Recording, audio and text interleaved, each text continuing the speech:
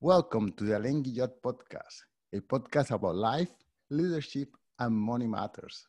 Our guest today is Brandy Schillace.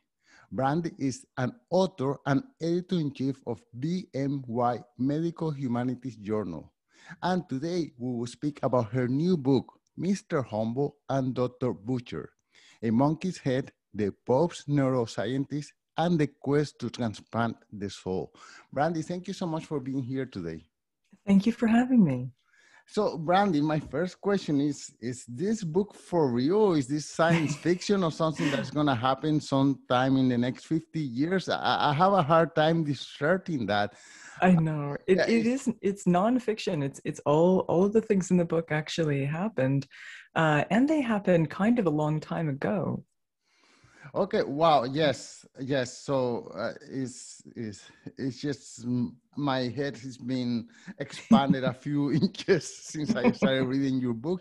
Uh, I wonder if we could start with a little bit of background information about you because you live in the fringes of many intersections of science and and and way of being. So, can you just give us a little bit of, of background about your story? Absolutely. So, uh, I think life is more interesting at the intersections sometimes. And so I, I have in my life been a professor. I was a tenure track professor in a literature department. I also worked for a history department and for a museum of medical history. And I'm a freelance writer. Now I'm an editor of a medical humanities journal. So, in a lot of ways, um, I don't think that, you know, for, for me, it's not about just looking at medicine or health or history or literature or narrative, but looking at all of those things and how they connect together. And so you sort of begin to understand how all of these pieces influence one another. You, you have to know the history of, say, health and medicine in order to know where things are going in the future. You also need to understand communication and literature and narrative in order to communicate properly these this information to other people. And for me um, social justice is a big part of that too. How do we make sure health and well-being are accessible to as many people as possible?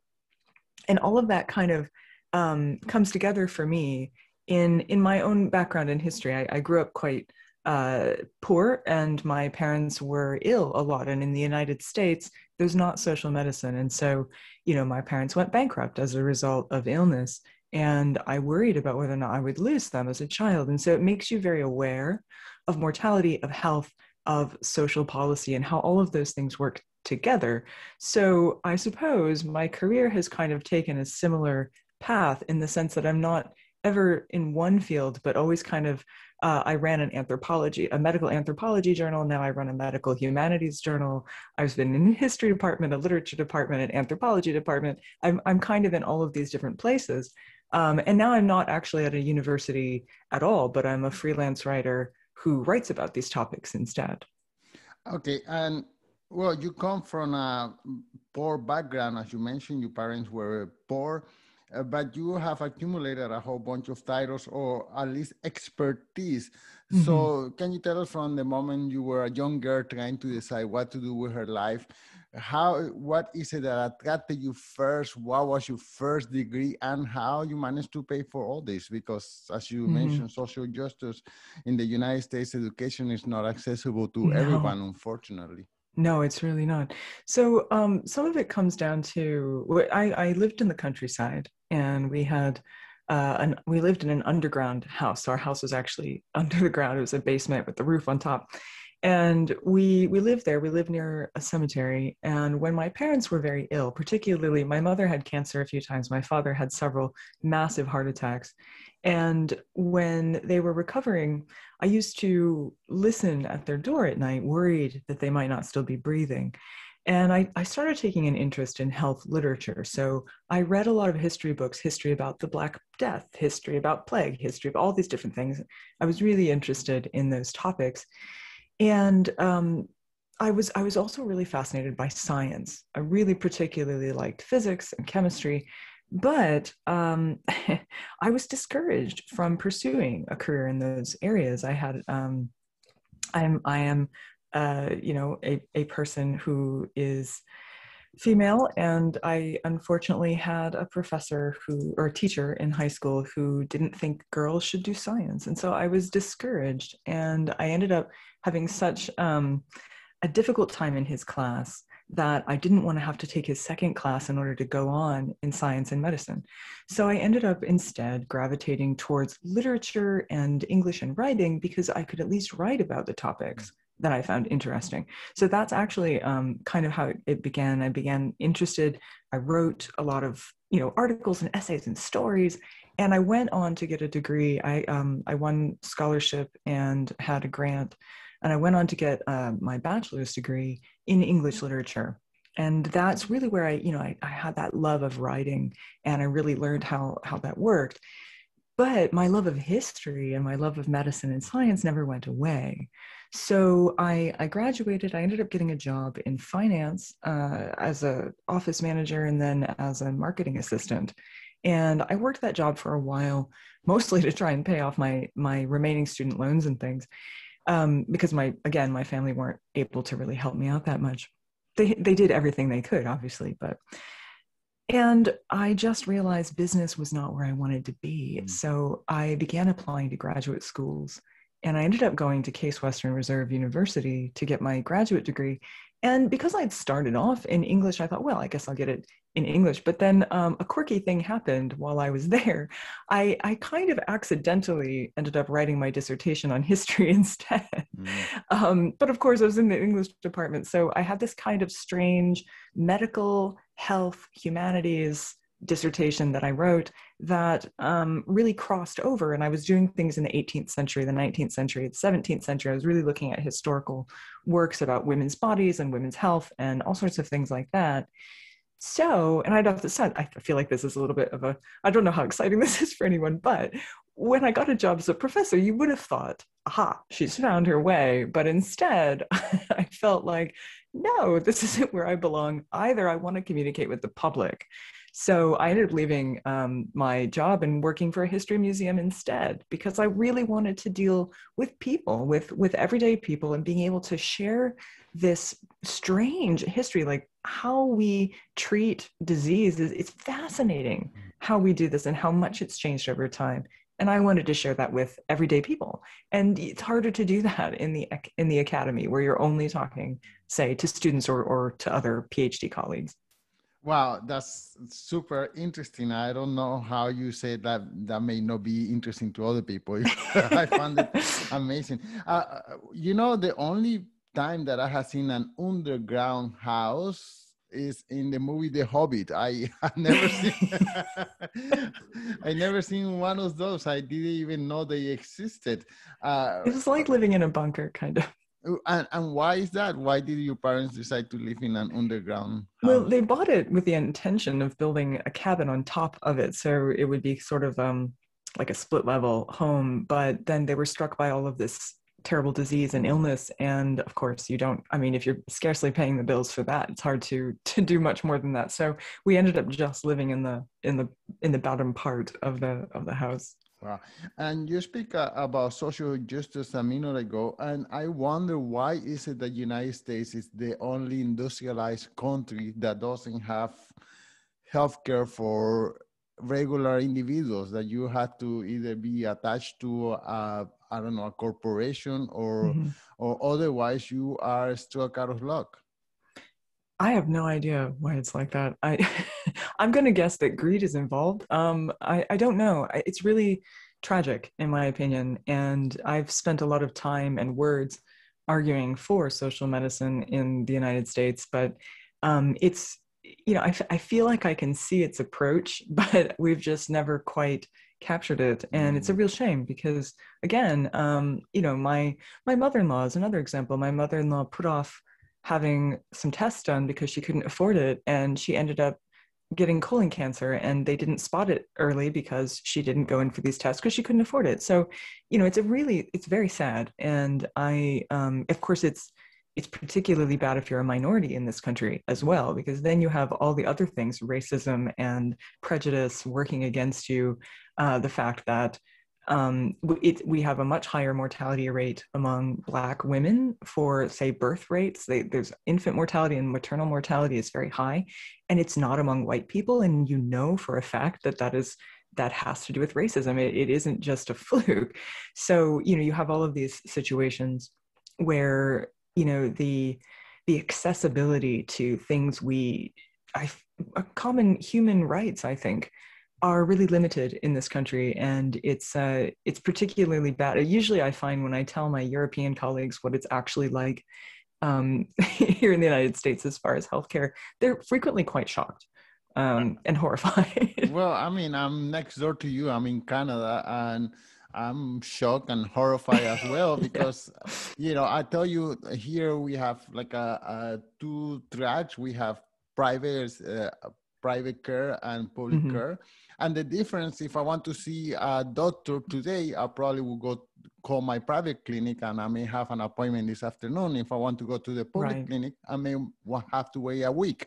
You yeah. know, but but I still everyone has access to healthcare and you may have to wait in line a little bit longer, but still it's accessible and, and I see no no major discrimination among being black or white or whatever. I'm sure there is, but it's mm-hmm. not it's not quite i'm sure it's not as endemic it's, it's particularly bad in the united states and some of that goes back again this is a, a why history is important right a lot of these problems go back to historical injustices actually i talk about organ transplant in my book and one of the things i bring up is how fraught that was in terms of racial justice at in the 1960s so you have um, civil rights sort of butting heads with new medicine that uh, might not be taking the concerns of minorities very seriously. So mm. it's you know that that comes along, and if you understand the history of where this country comes from, I mean, this country was built on slavery. Mm. That's still in our you know it's in the bones of this country, and that means racism is still a real big problem.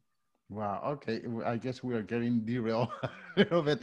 Uh, okay. So you have been writing a few books. Can you tell us about your previous work and and and yeah, what is it that uh, told you that you had to go ahead and write your first book?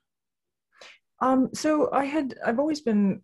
Uh, I spent a lot of my time writing, and of course, if you're an academic, they want you to write uh, books as well, academic books. And so my very first book was actually um, an academic compilation that I did um, that was about history of birth and reproduction and things like that.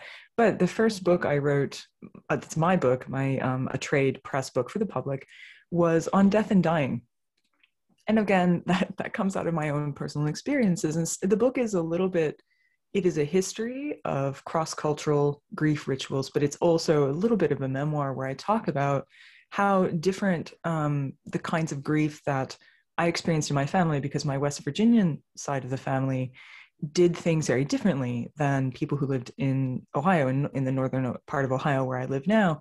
So, for instance, they they stayed up with the dead. They washed the body. It, the body was in a house rather than in a funeral home, and that was quite unusual. Um, for uh, most American funerals are not run that way. And I thought, okay, that's interesting. Let's talk about. That. Let's examine that. Why why have we divorced ourselves from these intimate grief rituals and and how how death has become kind of hospitalized and grief has become pathologized. So that that first book had to do with death and dying and i'd already been writing some articles and essays about it when i was approached uh, by someone asking you know hey maybe you should write that as a book. So i did and that was my very first book that came out and it came out in england first actually uh, and only in the united states secondly Wow, interesting, and that's interesting too. Didn't people start um, separating uh, the or changing the burial rituals uh, after the Civil War when you had all these dead soldiers coming in and you had to prepare them and separate them? And I guess, I guess before the Civil War, people were just held in their house for I don't know visits and and mm. see the corpse and all this and that?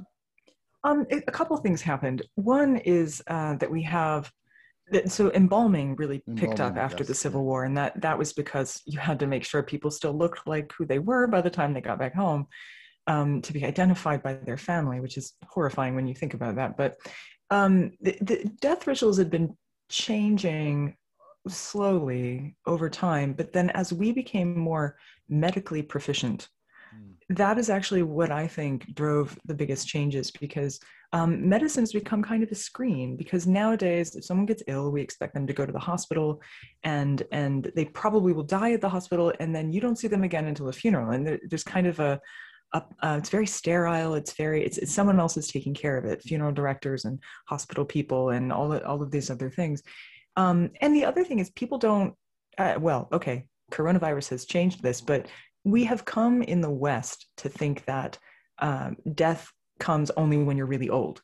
You know, mm-hmm. whereas in in previous times, um, the biggest mortality rate was actually people under the age of five. And so you you saw death more often. Death happened in your family more often. People had lots of children but not all of them made it to adulthood. And we've we've we're sort of victims of our own success in a way. We're so used to succeeding and and thwarting death that we're almost unprepared to deal with it when it comes. And so that's partly what that book looked at was how how is that different in other cultures and how was it different historically Okay, well, let's then let's talk about your new book, Mr. Humble and Dr. Butcher. Uh, what was the inspiration for this book? Uh, so I had a while I was working on the Death Summer. Things have gotten a little loud behind me. I might have to shut that door. Okay. Hang on one second. Okay. Um, Sure. While I was working on Death's Summer Coat, I had a, a, colleague who was helping me understand the concept of brain death, which is, you know, hard to get your head around, really.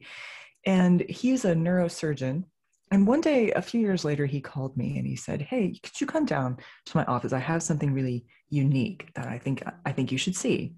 So I do. I go to his office, and he, he basically gives me this notebook and the notebook's very old and it, it looks like something you might um, use in a in a schoolroom. It's it's got lines, and it basically has all of these notes in it about mouse brains and mouse heads. And I said, "What am I looking at? What is this?" And he said, "Well, that's the lab notebook of Dr. Robert White, who performed the first primate head transplant in 1970." And I didn't even know that this had happened. so I was quite shocked to hear that anybody, that anyone had been thinking about transplanting heads, much less being successful at it. So I became really intrigued and I thought, I have to find out more about this guy um, because he wasn't just some fringe scientist. He he he was nominated for a Nobel Prize at one point in his life. So I thought, okay, how do you reconcile these strange things that he did with somebody who's also clearly um, working for the greater good in medicine? Okay. Uh, uh, so yeah, I was taking notes as you were talking. So you find this notebook and and and you find that interested, but then what? How does that translate to you writing a whole book about it? well, it turns out that his daughter still lived okay. in the town uh, that I live in, and this is where Robert White was from. Was here in Cleveland, and his daughter was really interested in having somebody write his biography, and she had all of this material. So, you know, at first I thought, well, let me just take a look at his life and see. But his life turned out to be so much more fascinating than I expected. So, for instance, he lived at a time when things were really changing rapidly. Um, civil rights, animal rights, the Cold War, you know, uh, things happening behind the Iron Curtain in Russia and or the Soviet Union. And you know, he lived through all of that, all of those changes, the assassination of Kennedy, um, changes happening abroad, uh, you know, sort of post World War II, all the way up into the year 2010 when he died.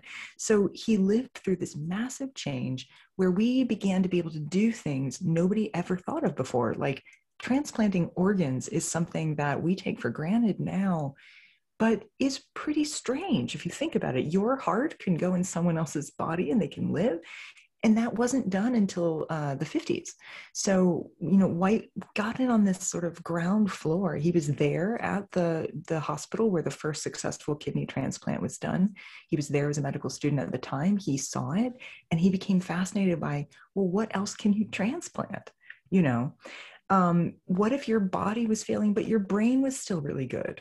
Was there a way that you could move an entire body over to your head and and keep on living? And he he used um, stephen hawking as an example of that. And so uh, it, it's a really peculiar idea and yet he was a brain surgeon and a brain scientist and he became fascinated with understanding whether or not your brain could outlive your body. And i think that that's um, kind of mind blowing.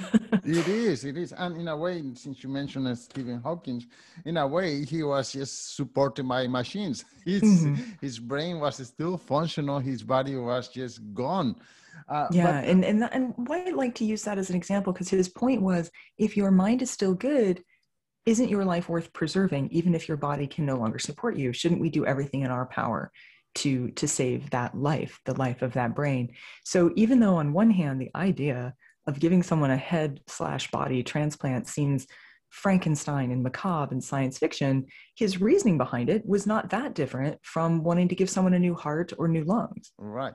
So uh, then, if he was successful, how come this is a mystery? How come I had to find out through your book and it's not in a, a, normal procedure now? Like, you know, let's say right. I mutilate my body, but my head still works. Why couldn't there be a transplant mm-hmm. right now? So some of it comes down to the the big difference in science between what we can do and and what we should do. Um, the ethics that are involved are, are really big here. So he does prove that he he t- he does this on monkeys, on primates, macaques. He basically takes one monkey's head and he puts it on the body of another monkey, and he puts them back together. In, in, in order to make this work, he had to super cool the brain of the monkey because otherwise um, depletion in oxygen could lead to brain damage. So he, that's actually how he developed the supercooling techniques or what they call therapeutic hypothermia, which is what he was ultimately um, nominated for a Nobel Prize for. So, uh, which is, you know, when you think about it that way, that's that's fascinating. But he he manages to make this work. He puts the monkey's head on another body the body is providing all of the nutrients and blood and oxygen. The problem is um, you're paralyzed because you severed the spinal cord. So, you know, it, in that sense, you're not really able to function. The body's not able to function. So you're in the same position, say, as Stephen Hawking. You are still, the monkey was still functional. It could see, it could hear, it could, it actually tried to bite Dr. White after the surgery. So it lived for about nine days. And Dr. White said, okay, we can now perform this on human beings, but you know, who are you going to get to be the first person? Wow. because whatever happens to you afterwards, you're going to be paralyzed. You're there's not a high, you know, we don't know what the guarantee of success and survival rate is. So there's a lot of ethics wrapped in there too. Okay, so uh, but still, this is something that uh, it was done in a monkey, but uh, it's still a possibility to do something. Some, some, it absolutely is. Mm-hmm. And in fact, he he actually had somebody who volunteered to be the first patient. Um, Craig Vetovitz, who was a tetraplegic, he had been injured in a diving accident and uh, lost the use of his um, legs, arms, and legs. And what had happened is, with a lot of people who've been paralyzed, their organs start to fail over time. Mm. And so Craig Vetovitz's kidneys had begun to fail and he wanted to get uh, a transplant, but at the time they didn't consider him a good candidate because he was paralyzed. So, you know, for him to live on and he didn't want to die, he had children, he wanted to watch them grow up. For him, the head transplant or body transplant at that point sounded um, like a real possibility. And he worked with Dr. White. Dr. White actually prepped a surgery protocol in order to perform it on human beings they located a brain dead person that they thought they could use that body. He even practiced the surgery on two corpses, two dead people, uh, which is something that's commonly done where they're practicing new surgeries. But in the end, they didn't get the approval or the money to make that happen. And, you know, you can kind of understand why. On one hand, I, I understand Craig Vetovitz's point, which is I want to live, I want to live a longer life. On the other hand, this is still a really dangerous surgery. There's no guarantee exactly how you'll come out on the other side. Like, are we just our heads? Are we just our brains?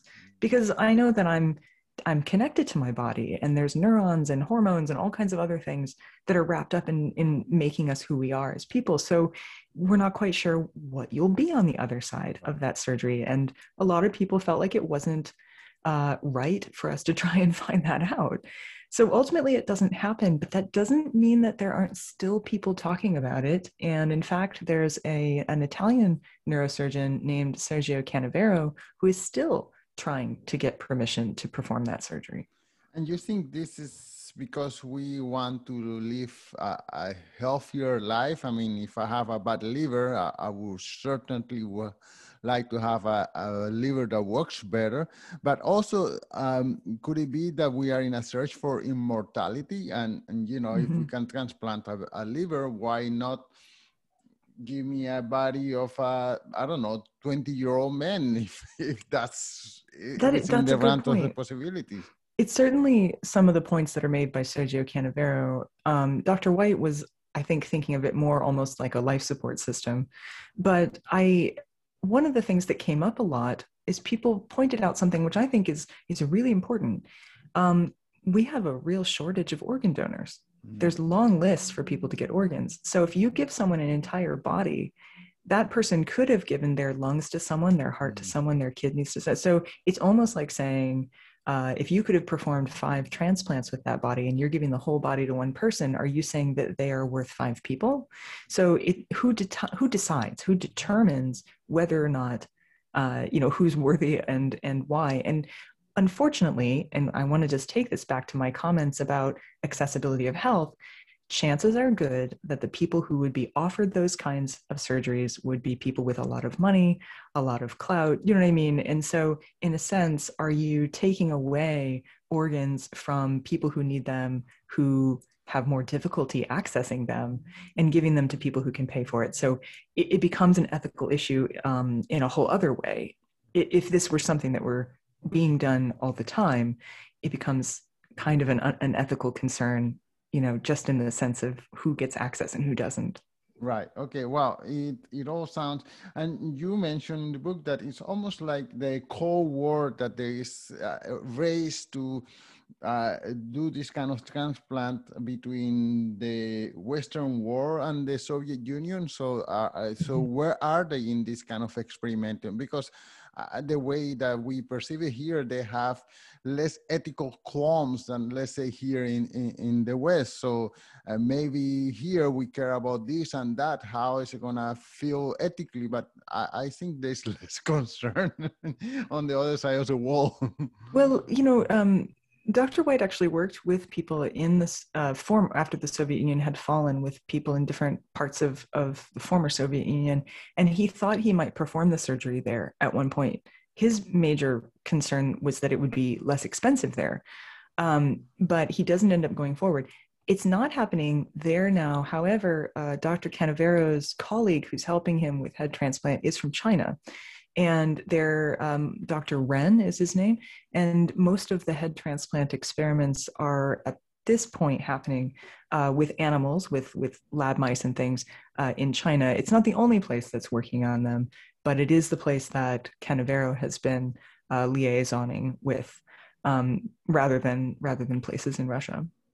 Okay, uh, this may be a little bit out of the scope of your book, but uh, where are we right now with harvesting organs coming from animals? Uh, I heard that you could, I don't know, uh, mm-hmm. take organs from a pig and transfer it to a human being. Is that something? I mean, I, I, I You're in luck. I just I just wrote an article about this uh, for Medium. Um, th- yes, uh, they have been working on that. They've even been working on what they call chimeras, which is uh, attempting to put some human DNA into pigs and into monkeys to find out if it makes the organs more easy to transplant.